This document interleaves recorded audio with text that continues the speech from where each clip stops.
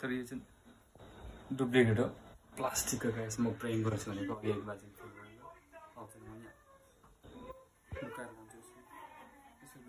देख्छ?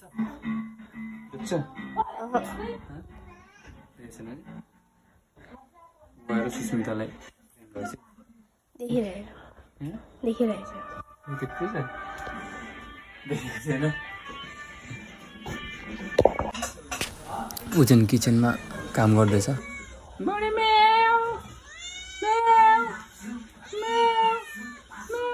टोक्नु खोज्छ त यसले त। मैले कहाँ बोलाएँ? कौन छ नि हेर न यो। गाइस फर्स्टचोटि चाहिँ फेल भयो। अब यो चाहिँ सेकेन्ड एटेम्प गर्दैछु। चुपचापले।